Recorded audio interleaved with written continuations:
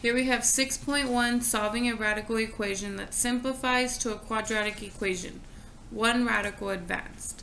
So the same thing, I do not need to isolate my radical, it's already good to go, but I do need to square both sides of my equation. So on this side, I'm going to end up with y minus 3 times y minus 3. And on this side, the radical and the square will undo each other. And over here, I have to actually FOIL this out. Be very careful not to just say it's y squared minus 9, because that is incorrect. A square means this thing times itself. So when I take y minus 3 times itself, I actually end up with y squared minus 3y minus 3y and then a positive 9. And if I combine my like terms, I end up with y squared minus 6y plus 9, which is not what you're going to get if you just try to square these individually, okay? So be sure that you square that binomial properly. Now I do have a quadratic still, so I am going to minus 24 on both sides of my equation and add 4y to both sides of my equation. What I get left over is y squared minus 2y um, minus, I believe, 15, but let me make sure because my brain does funny stuff after I've been doing calculus all day. Okay, yes, negative 15, and these two wipe out and I get 0. So then here I will factor this into y minus 5 and y plus 3. So I get y equal to positive 5 for this factor and y equal to negative 3 for that factor. Now I do have to check those solutions though.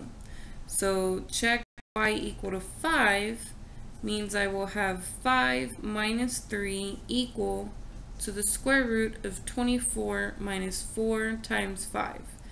So this is 2, this is 24 minus 20, which is the square root of 4, and the square root of 4 is 2. So this one does check out.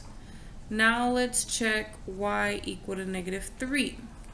So I get negative 3 minus 3 equals the square root of 24 minus 4 times negative 3. Here I get negative 6. Here I get 24 plus 12. I get 36. And the square root of 36 is 6. But negative 6 does not equal positive 6. So in this case, this number does not work check out.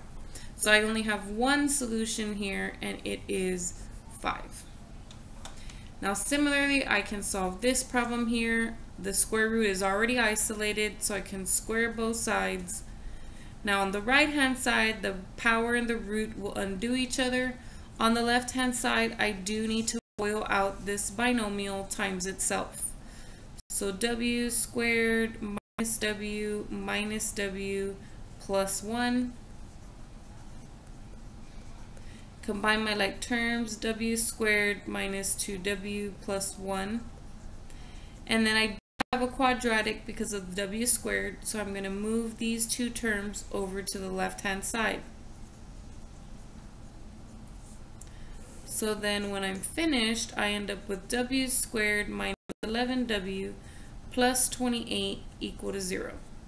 So I can factor that into w minus 4, w minus 7.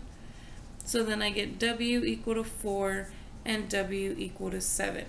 And then of course we do have to check um, both of our solutions.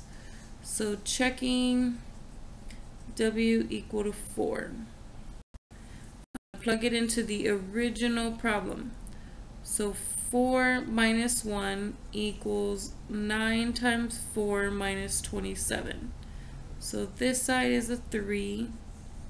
And then I get 36 minus 27, which is 9. Square root of 9 is 3. So this answer checks out. Now I'm going to check W equal to 7. So plugging it into here. 7 minus 1 equal to root of 9 times 7 minus 27. So here I get 6. Here I get 63 minus 27. which is the square root of 36, and the square root of 36 is 6, and so these are also equivalent, so that one also works. So I get two answers here, 4 and 7. So both of my answers are actual solutions.